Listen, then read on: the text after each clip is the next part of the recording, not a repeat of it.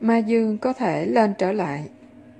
Dấn, trong một số tiền thân của Ngài, sư phụ đã có bao giờ nhốt Ma Dương hay quỷ vào địa ngục như Ngài đã làm gần đây không ạ? Sư phụ, có, trước đây. Trước đây, nhưng một thời gian ngắn, chỉ như một ngàn năm, và họ có thể trỗi dậy trở lại. Bởi vì con người không thay đổi, và nếu năng lượng phủ định tăng lên đủ mạnh, thì họ đi lên. Lực đó thu hút họ, kéo họ lên, và để cho công bằng. Không thể nhốt họ mãi mãi nếu mọi người khác làm điều xấu. Làm những điều tương tự mà được tự do và phước lành. Trong vũ trụ bóng này, mọi điều cần phải được duy trì như vậy, công bằng, tối thiểu công bằng và hợp lý. Ma Dương chỉ muốn cai trị. Dấn, tại sao Ma Dương không phải là người tu hành? Sư phụ, y không phải là người tu hành, y không muốn. Anh hỏi hàng ngàn, hàng triệu người ngoài kia, tại sao họ không muốn làm người tu hành? Cho dù tôi có đi khắp nơi thuyết pháp cho hàng ngàn người, đâu phải ai cũng muốn trở thành người tu hành, huống chi làm A Dương. Y có lực lượng, có thể tạo ra nhiều thứ, có thể tạo ra chúng sinh.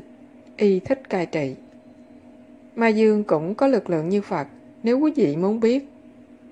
Chỉ là y thiếu tình thương, thiếu lòng từ bi. Phật có lòng từ bi, tình thương và lực lượng. Ma Dương chỉ có lực lượng nên y không hiểu đau khổ của loài người, hoặc của tôi và quý vị, hoặc loài vật. Y chỉ ngắm nhìn, sáng tạo của y cấu xé lẫn nhau và y không bận tâm. Tâm y không có tình thương, đó là lý do. Thành ra nếu chúng ta tu tập bất cứ pháp thiền nào, trước tiên phải tu dưỡng lòng từ bi. Bằng cách trì giới, Tối thiểu là trì giới, không sát sinh, không làm hại, không nói dối, hiểu không? Đôi khi nói dối cũng làm tổn thương người khác. Giới luật là để giữ quý vị xử sự đúng đắn, để quý vị không làm hại và không rơi vào con đường của ma dương. Vì ma dương không quan tâm đến cảm xúc của người khác, y có quá nhiều lực lượng, muốn gì có nấy bất cứ lúc nào. Y thích cai trị với bàn tay sắt, cho nên bất cứ ai làm gì sai, và nhân danh sự phán xét, nhân danh luật pháp, y đưa họ vào địa ngục. Thậm chí người tu hành không hiểu, suy nghĩ nhầm lẫn rằng họ là thánh, hoặc chỉ bởi ngã chấp hay gì đó, họ dẫn đọa địa ngục. Đức Phật nói vậy, đọa địa ngục vô gián. Thành ra Đức Phật này nỉ tất cả đệ tử của Ngài và chư Bồ Tát, xin hãy trong thời mạt Pháp, nghĩa là khi Ngài không còn tại thế nữa, và pháp mạch đã phai nhạt và không còn mạnh mẽ như khi Ngài còn tại thế hoặc khi Ngài vừa nhập diệt. Khi Đức Phật nhập diệt, pháp mạch vẫn còn đó. Bởi vì Ngài vẫn có A Nan, Ngài vẫn có con trai, La Hầu La. Người cũng đã trở thành một trong những người kế dị. Ngài có Văn Thù Bồ Tát. Ngài có những đệ tử khác, một kiền liên, dân dân. Tất cả họ thay phiên làm người kế dị suốt mấy trăm năm. Pháp mạch vẫn còn nguyên diện và còn thuần khiết. Nhưng sau khi những đại đệ tử này cũng nhập diệt thì không còn gì nữa. Đó là thời mạt Pháp đối với đời của Đức Phật hoặc với giáo lý Phật. Đó là thời mà Ngài gọi là thời mạt Pháp. Do đó Đức Phật lo lắng rằng người tu hành có thể rơi vào cạm bẫy của ma quỷ Thành ra Ngài cứ nói thật lâu, thật chi tiết, thật kiên nhẫn rằng xin hãy chăm sóc cho họ để tất cả đệ tử còn sống của Ngài hiểu và cố gắng hết sức để chăm sóc các thế hệ người tu hành trong tương lai. Ờ, anh nói đúng, ước chi Ma Dương thành người tu hành. Y không quan tâm, vì Y không có ý định giúp bất cứ chúng sinh nào khác khi Y tu tập. Đó là lý do. Y tu tập chỉ để có lực lượng hầu sáng tạo và cai trị những sáng tạo của Y. Đó là ý định. Quý vị có ý định gì thì sẽ được điều đó. Quý vị thiền vì quý vị cảm thấy thương xót chính mình rằng quý vị đã bị gạt nhiều kiếp hoặc ngay kiếp này. Quý vị muốn cải thiện mình và muốn thăng tiến. Hơn nữa, nhân tiện quý vị có thể gia trì cho các thế hệ của mình, cho các thế hệ khác hoặc giúp đỡ tha nhân quảng bá chân lý. bất cứ gì, vì mục tiêu cao thượng, ý định cao thượng. Nhưng ma không bao giờ có loại ý định này. Ma chỉ thấy chán với thiên đàng. Y chán làm thuộc hạ của Thượng Đế tối cao hoặc của Đức Phật. Y nổi loạn. Y muốn là sếp của chính mình, cai trị bất cứ gì Y tạo ra hoặc mượn. Đây là một loại tham vọng, nên người tu hành cũng có thể tham vọng như thế. Và đây thật sự là điều đáng buồn. Dấn, thưa sư phụ, con cảm thấy nếu ma có tình thương và lòng từ bi, thì y thực sự có nhiều lực lượng hơn. Vì càng có nhiều tình thương và lòng từ bi, thì càng có nhiều sự hỗ trợ từ các cõi cao hơn, có nhiều lực lượng hơn. Ý là con cảm thấy y không khôn ngoan khi không chịu tu hành. Sư phụ, tôi biết không khôn ngoan, thật không hợp lý, bởi vì nếu y, y không đủ thông minh, mà không nghĩ như vậy. Giống như ai đó rất ham hở muốn trở thành giàu có hoặc nổi tiếng bằng mọi giá. Quý vị đến bảo họ, sư phụ tôi nói quý vị giàu có, hoặc Chúa Giêsu nói tài sản. Trên thế gian này không là gì cả. Tốt hơn là đặt tài sản của quý vị trên thiên đàng. Họ sẽ nói, ra khỏi nhà tôi ngay. Hiểu ý tôi nói không? Ma chỉ là một trong các chúng sinh chưa phát triển khía cạnh này của tình thương. Y chỉ phát triển một khía cạnh, lực lượng một chiều. Dấn Con cũng có một số câu hỏi về ma dương. Trong quyển sách do Minh sư Kabir anarasaga viết, Ngài nói ma dương là con của một minh sư đẳng cấp cao, giáo chủ của cảnh giới thứ năm. Sư phụ, phải phải. Dấn nên con chỉ tự hỏi làm sao ma lại trở thành người xấu như vậy, sinh ra từ một người tốt. Sư phụ, vì y đến từ tình thương và y không có những cạm bẫy và mánh khóe như con người ở đây trên thế gian. Bởi vì y đã ở thiên đàng với mọi hỷ lạc. Tôi nói rồi, ma chán ở thiên đàng. Y chán làm thuộc hạ, chán làm người tốt, chán phải sống trong luật lệ. Y thích tự cai trị, Y thích làm vua, giống như một lãnh tụ cách mạng nào đó, biết không? Người đó không thích chính phủ. Anh thắc mắc làm gì? Cảnh giới thứ năm cũng là bên trong, thế giới bóng. Thành ra tôi sẽ đưa quý vị ra ngoài, bên ngoài. Bên ngoài cảnh giới thứ năm, nhưng nếu đến được cảnh giới thứ năm, quý vị đã tốt rồi. Nếu quý vị tốt, thì quý vị ở cảnh giới thứ năm. Quý vị đi đến đó. Nguồn gốc của ma dương Dân, về tình trạng ở thế giới này, con muốn hỏi là liệu vua ảo tưởng bằng cách nào đó cũng có thể được giải thoát không? Sư phụ, Ma Dương, vua ảo tưởng, ông ta nghĩ ông ta được giải thoát rồi. Không ai làm gì ông ta cả. Vậy bây giờ anh muốn gì? Muốn cứu ông ta hả? Cứu việc, tôi không thích ông ta. Dấn, nhưng con nghĩ vấn đề là nếu ông ta còn ở thế giới này, guồng máy mà chúng ta không thích đó vẫn còn. Sư phụ, phải, nhưng chúng ta cũng là một phần trong đó. Ông ta hiện hữu từ lâu rồi. Ông ta không có gì sai cả. Có điều ông ta tạo ra tất cả những thứ này, nhưng ông ta không thật sự làm gì cả. Thành ra thậm chí không thể kết tội ông ta được. Chẳng hạn ông ta tạo ra con cọp và tạo ra thỏ, rồi để con cọp bên cạnh con thỏ. Ông ta không làm gì cả. Anh có thấy ông ta giết con thỏ không? Không, ông không giết. Con cọp giết. Ông ta cũng có phước báo. Mình không thể giết ông ta như vậy được. Không thể giải thoát ông ta như vậy. Vì ông ta cũng đã tu hành lâu năm, hàng ức niên kỷ, mới có lực lượng này. Nhưng ông ta tu với mục đích sai lầm. Ông ta có lực lượng, nhưng không có tình thương. Lý do là vậy. Ông ta thích sáng tạo, nhưng là một kẻ sáng tạo vô trách nhiệm. Nhưng anh không thể trách ông ta được. Vấn đề là vậy. Tôi có thể buộc tội ông ta, nhưng không có chứng cớ. Ông chỉ tạo ra con cọp cho vui, rồi tạo ra thỏ cũng chỉ cho vui thôi. Tạo ra cọp và thỏ thì có hại gì đâu. Vấn đề là chú thỏ chạy tới gần chú cọp, nên mới xảy ra chuyện. Làm sao ai có thể trách Ma Dương được? Ông ta có làm gì đâu. Chỉ tạo ra cái này, cái kia thôi, hiểu không?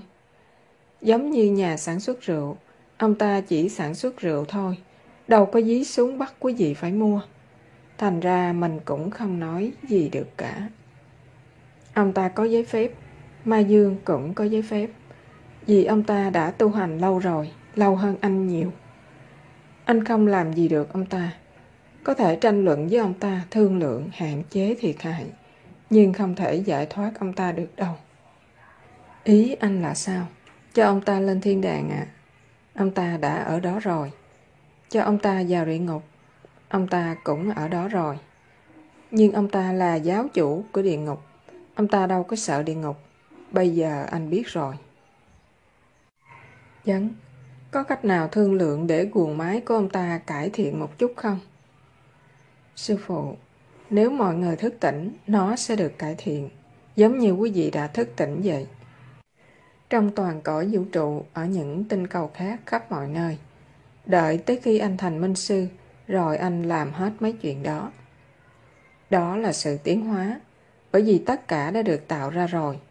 Một là chúng ta phải tiêu hủy tất cả rồi làm lại từ đầu. Hai là để cho guồng máy đó tiếp tục phát triển và phải dạy dỗ cho mọi người ý thức. Đừng đi lối đó, hãy đi lối này, hiểu không? Chúng ta không loại bỏ ma dương được, đó mới là vấn đề. Nhưng tôi đã kết tội ông ta về những hành động ngỗ ngược của ông ta. Thật như vậy đó, nếu chúng ta không sinh ra ở nơi này, thì đâu có vấn đề gì, phải không? Nhưng vấn đề là chúng ta cũng có sự chọn lựa. Chúng ta có sự chọn lựa.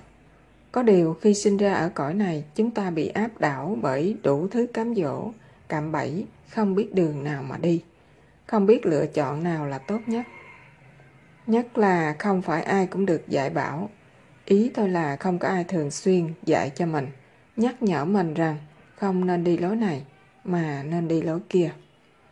Bởi vì cõi sáng tạo cũng như sự tiến hóa, ông ta đã tạo ra rồi. Trước khi tôi và anh chào đời, đã có sẵn rất nhiều loại dạy này nọ. Do đó sự tiến hóa phải tiếp diễn cho tới khi có thông cáo mới. Có lẽ mình sẽ cho ông ta hành nghề ở một nơi khác, nhưng ông ta đi đâu bây giờ trong vũ trụ này? Ông ta sẽ ngứa ngái tay chân và sẽ lại sáng tạo ở một nơi khác. Vấn đề là vậy. Quý vị tu hành phải có đạo đức, trí huệ và tình thương. Đó là lý do. Đôi lúc có những vị thầy hay có những người thích học thần thông. Họ học với bất kỳ vị thầy nào, khỏi cần ăn chay, khỏi cần thiền, không cần năm giới luật, không cần gì cả. Lối dạy này sẽ sản sinh một loại ma dương. Và nếu đời đời kiếp kiếp tu hành theo chiều hướng đó, thì mình sẽ thành ma dương. Ông ta cũng có đại lực lượng, gần như Phật, ngoại trừ không có lòng từ bi, không có lòng trắc ẩn. Đó là lý do quý vị phải giữ ngũ giới. Đó là lý do quý vị phải phát triển lòng từ bi. Không chỉ phát triển lực lượng, không chỉ bảo vệ mình bằng hồng danh hay bằng sự tu hành thôi, mà phải thấu hiểu nỗi khổ đau của người khác và lúc nào cũng phải nghĩ mỗi lần gặp người nào hay điều gì đó quý vị phải nghĩ cách làm sao giúp cho họ đỡ khổ hơn hiểu không mánh lới của ma rất đa dạng Dấn, thưa sư phụ, ma dương, lực lượng phủ định, hoạt động ra sao? Có phải có một ma dương đứng đầu ra lệnh cho những ma cấp thấp làm chuyện xấu chống lại minh sư? Phải, phải. Giống như một đội quân có tướng và binh sĩ. Sư phụ nói chung phải, ma dương. Dấn, có phải chúng sinh ma hoạt động độc lập và tùy theo nhân quả riêng của họ với con người trên thế giới? Sư phụ, cả hai, cả hai, cả hai cách. Một số ma làm nhiều hơn những gì nên làm và rồi họ cũng bị trừng phạt bởi luật pháp của ma dương. Họ cũng có luật lệ. Một số làm nhiều hơn những gì họ nên làm. Họ cũng ranh mảnh như con người. Một số gieo tai họa phá phách. Phải, cả hai. Nhưng nếu chúng ta tốt và sống hợp đạo đức, họ thậm chí không thể đến gần. Nhưng vì đôi lúc quý vị cố làm điều tốt cho người khác hay nghĩ về điều xấu, hay có ai truyền sang quý vị một ít nghiệp của họ, thì điều này có thể mở đường cho những ma chúng này đến gần. Nhưng quý vị có sự bảo vệ. Dù sao đi nữa, với câu quý vị hỏi, câu trả lời là cả hai. Nhưng dù minh sư có bị thiệt hại gì, đó chỉ là sự trao đổi, hầu giảm bớt khổ nghiệp cho đệ tử và hoặc con người trên thế giới. Bản thân ma dương không có ý làm hại minh sư, nhưng trong thế giới này, sự công bình của công lý, đây là các thế giới thấp. Công bình và công lý phải được duy trì. Đây là thế giới của sự thưởng và phạt. Họ không màng ai bị trừng phạt, miễn là sự trừng phạt được thực thi. Quý vị có thể chết thay cho một người khác, họ không cần biết ai chết. Đối với họ, đó là một sự hỗn độn tập thể. Nếu nghiệp được trả, nếu điều gì đó được làm để trả nợ, giống như nhà băng không cần biết ai trả nợ, miễn là nợ được trả. Nếu không, họ tịch thu tài sản nhà cửa quý vị và đuổi quý vị ra. Tương tự vậy. Dấn Trong thế giới này, khi có ai muốn làm điều gì lợi ích, mà Dương luôn cố cản trở. Nhưng có ma chúng nào được đặc biệt giao phó sứ mệnh cản trở công việc của Minh Sư không? Điều đó thực hiện ra sao? Sư phụ, có nhiều, không chỉ một. Họ làm việc qua mọi thứ, mọi nơi, qua mọi người, qua thú vật, ngay cả qua côn trùng, qua người ta. Dấn, con thường tưởng tượng ma đi quanh rỉ tai người ta khiến họ làm chuyện xấu. Nhưng có những cách vật chất mà cụ thể hơn mà ma lừa gạt và chi phối người ta không? Sư phụ, ý quý vị là như vậy đó hả? Sư phụ làm vẻ như Ngài đang thì thầm vào tai ai. Dấn, dạ, đại khái vậy. Sư phụ, những mánh lới vật chất và cụ thể của ma rất nhiều và đa dạng. Tùy vào người họ muốn dụ dỗ. Ví dụ họ cố đặt người ta trước sự cám dỗ, cố đẩy hai kẻ thù lại với nhau. Đó là một trong những ví dụ, không cần phải rỉ tai gì hết. Rồi chuyện này dẫn đến chuyện khác và ảnh hưởng dây chuyền. Rồi phản ứng dây chuyền sẽ bắt đầu và tiếp tục mãi. Cho dù phản ứng này tàn lụi, cũng sẽ có nhiều nữa ở chung quanh để bắt đầu sự hỗn độn mới. Tôi chỉ có thể nói tội nghiệp chúng sinh địa cầu. Họ thật bất lực trong dòng nhân quả này. Chỉ phải tu hành, chỉ phải cầu nguyện, chỉ phải thiền. Tìm một minh sư giúp quý vị đi lên một cảnh giới cao hơn. Bởi vì ở cảnh giới này, ôi chao, quý vị đau khổ. Đây là dương quốc của ma dương. Dẫn, sư phụ gánh vô số nghiệp quả đệ tử và thế giới. Tuy vậy, ngoài việc có điểm kết nối hủy nghiệp, Ngài còn có một tài khoản ngân hàng rất nhiều điểm công đức tâm linh. Vậy thì tại sao Ngài vẫn phải chịu đựng đau khổ về thể chất và tinh thần? Sư phụ, bởi vì đó là cách sự việc được sắp xếp. Đó là giao ước trọn gói. Đó là giao ước. Nhìn xem, Chúa Giêsu đẳng cấp của Ngài rất cao. Tiên tri Mohammed, Đức Phật, tất cả các ngài đều phải chịu đựng đau khổ, mặc dù các ngài không cần phải vậy. Dấn, ngài không thể xóa nghiệp theo cách của ngài sao? Sư phụ, à, như vậy thì quá dễ. Vậy thì mọi người có thể làm anh sư, sao lại phải bận tâm? Sao lại bận tâm xuống đây? Ngài có thể chỉ ban cho bất cứ ai rất nhiều công đức và ở trên thiên đàng, rồi chỉ cần ban rải tất cả công đức xuống, trả cho mọi thứ và mọi người lên thiên đàng. Không phải như vậy. Quý vị quên rồi sao?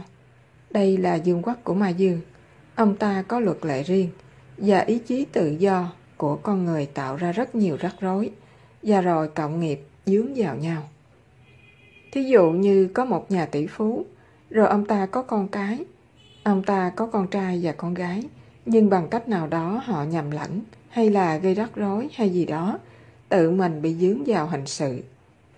Có lẽ giết chết người nào đó do nhầm lẫn hay vì sai rượu hay dùng ma túy gì đó.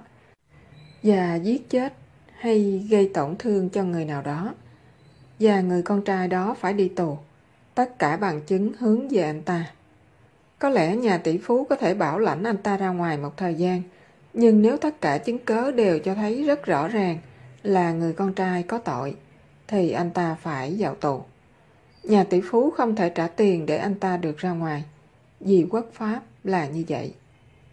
Người con trai của nhà tỷ phú ở trong tù phải làm những việc giống như mọi người khác, như tất cả tù nhân khác. Phải giặt quần áo hoặc có lẽ quét nhà và làm tất cả việc vặt trong đó. Nhưng có lẽ anh ta thoải mái hơn vì cha anh ta có thể cung cấp một số tiền nhiều hơn và anh ta có khả năng được thêm nhiều thứ mà anh ta muốn trong tù, thêm thức ăn hoặc thêm nhiều thứ.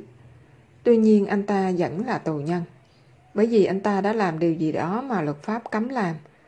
Ngoại trừ nếu người cha chịu tội thì người con sẽ được tự do.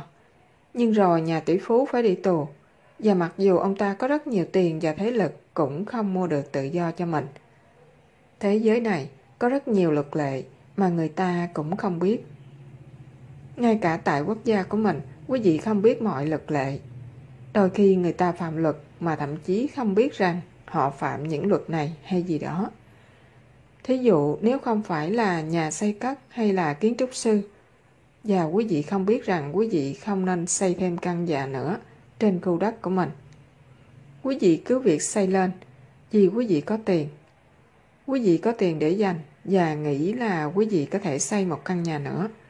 Nhưng rồi cảnh sát đến hay người láng giềng kiện quý vị, quý vị không cố ý phạm tội, chỉ là không biết. Không phải ai cũng biết tất cả luật lệ trong nước, đừng nói chi tới luật lệ trong vũ trụ vật chất. Thật khủng khiếp, khủng khiếp. Nếu không có một vị minh sư giác ngộ và từ bi, không có linh hồn nào thoát được, chắc chắn là vậy. Tôi có thể cho biết bấy nhiêu, nhưng sự trốn thoát cần thời gian. Hiểu ý tôi không? Ma Dương là ai? Vấn, nếu Ma Dương đã kiếm đủ công đức để tạo ra vũ trụ vật chất, có phải điều đó có nghĩa là Ma Dương là chúng sinh tự do như giáo chủ cảnh giới thứ nhất? Sư phụ, không, không, họ khác. Ma Dương là đấng sáng tạo của tam giới thấp có thể bị hủy diệt, bao gồm địa cầu vật chất này, tam giới này. Có luật lệ của nhân quả, luật lệ thưởng phạt, đây là ba thế giới không có tình thương chân thật. Đó là lý do các giáo chủ của thế giới thứ ba hay thế giới thứ hai hay thế giới Atula. Khi công đức của họ cạn, họ cũng phải đầu thai trở lại nơi nào khác. Điều đó còn tùy tùy vào sự phán xét. Họ có thể đầu thai trở lại làm người như bất cứ ai khác, ví dụ vậy. Và vị thiên đế của thế giới Atula hay thế giới loài người cũng là do ma dương tạo ra để điều hành cho Ma Dương. Trích đoạn từ các bài giảng của Master Thanh Hải Vô Thượng Sư trong các buổi trình chiếu trên truyền hình Vô Thượng Sư.